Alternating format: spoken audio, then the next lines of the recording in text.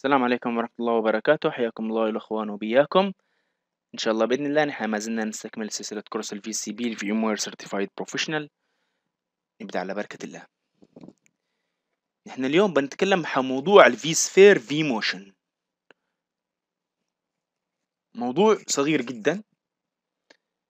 What you need for vMotion. بس نرجع هنا. بالشكل ده.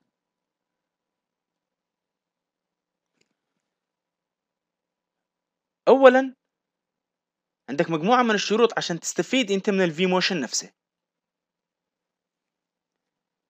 لازم تكون منزل ال virtual center. ولازم عندك يكون اتنين at least ESXi host ده واحد. وده اتنين. أنا إيش بستفيد لما بستخدم ميزة ال vMotion ال vMotion بتسمح لي إن أنا أعمل عملية نقل أو move أو evacuation لل virtual machine من ال ESX host 1 لل ESX host 2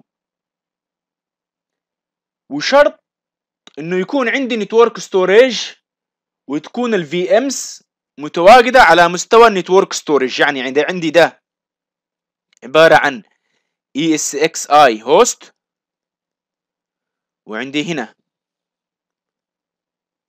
ESXi host كمان.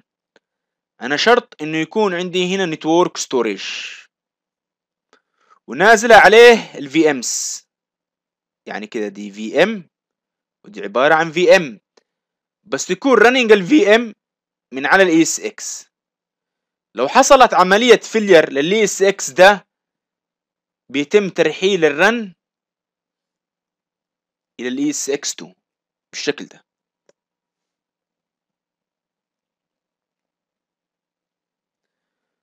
انت ليش بتحتاج ال vMotion عشان تعمل load balancing أو ما يسمى بال DRS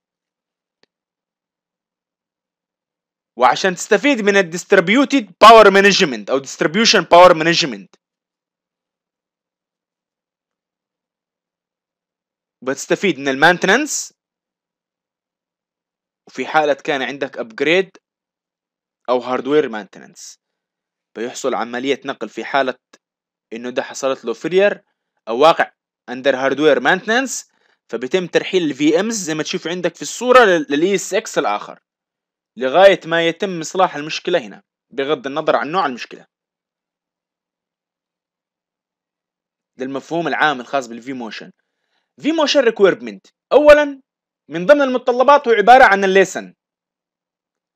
لازم يكون essential plus أو standard أو enterprise أو enterprise plus.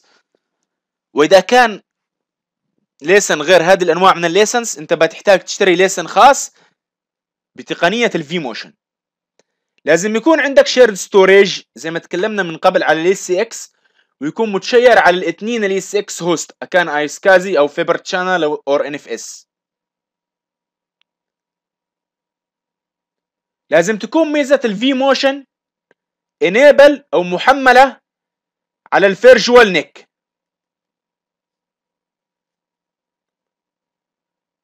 وميزة ال vMotion بتشتغل على ال standard switch ال VSS and ال distributed virtual switch إضافة إلى موضوع ال CPU compatibility. أو ممكن أنت تستخدم ميزة ال EVC اللي عبارة عن enhanced vMotion compatibility. لازم يكون من عائلة واحدة المعالج عشان تقدر ت run فيه وتشتغل فيه. ال vMotion بتبدو بالشكل ده. دي عبارة عن ال setting الخاصة بال vMotion تعالوا نشوف من الجانب العملي.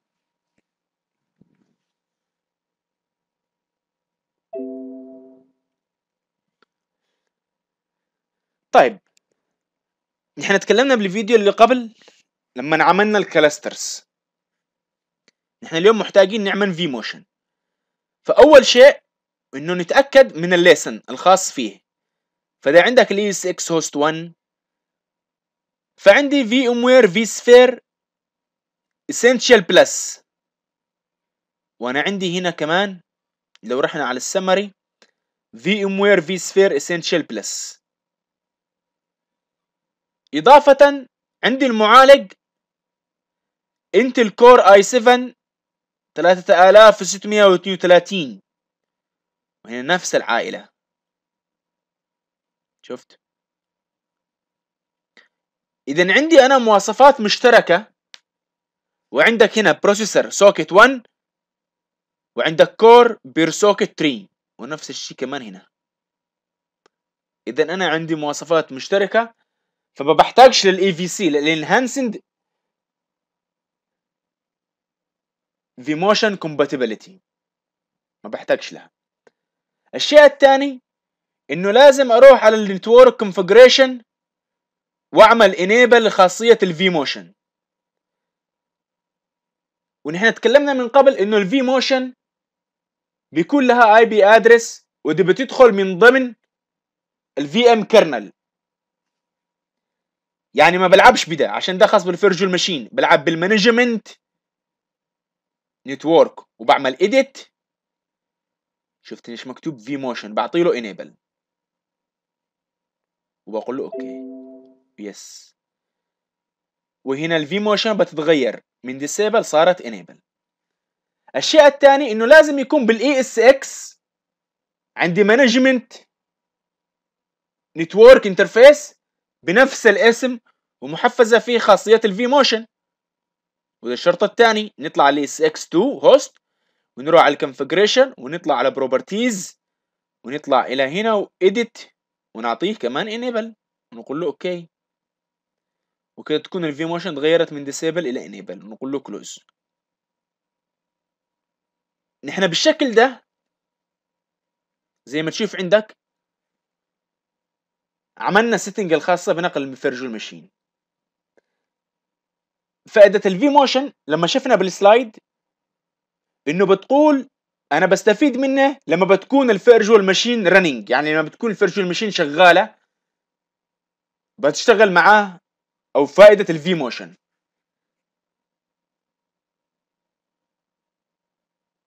فأنا قبل ما أبدأ بتكلم بس على موضوع ال compatibility الخاص بال CPU عشان تشوف ده الشيء. أنت ممكن ت right على my cluster وتروح على edit setting.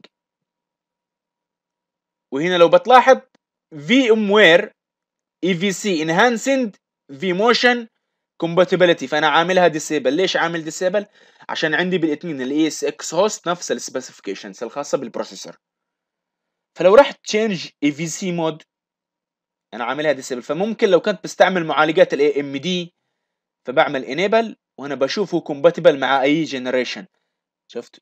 فلازم يكون من العائلة دي فلازم تتبع ال specifications دي والكلام ده.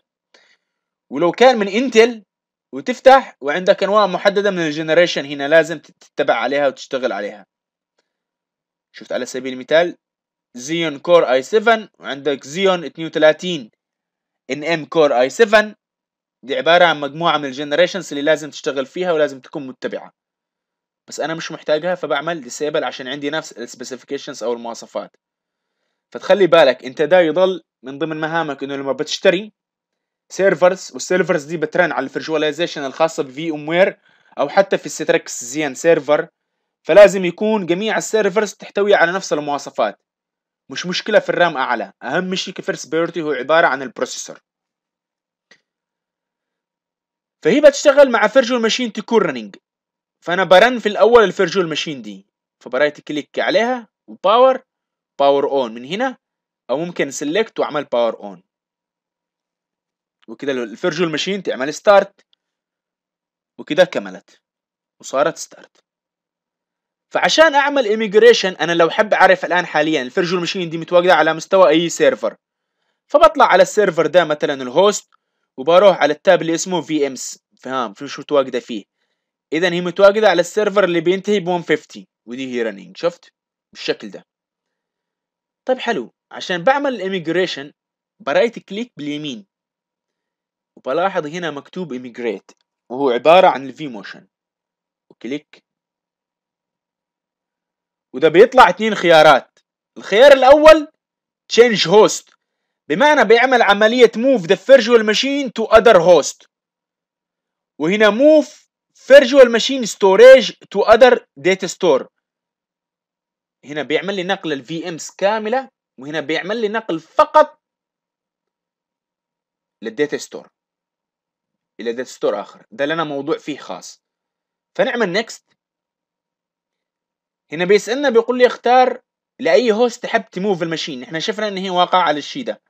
فلو بتلاحظ هنا موضوع ال compatibility الخاص بال EVC ال enhancement vMotion compatibility فهو compatible فإذا بتلاحظ هنا ال validation succeeded يعني compatible فأنا بنقله من ال 150 إلى ال 3 نعمل next ال priority طبعا high ال priority مش standard priority عشان نشوف حاليا يعني النقل. ده عبارة عن سمري سريع وتعمل OK طبعا ثواني بسيطة وبتحصل عملية النقل.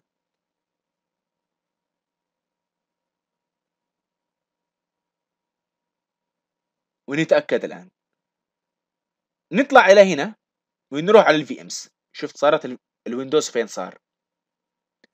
صار هنا ولو طلعت إلى هنا صارت مش موجودة. شفت؟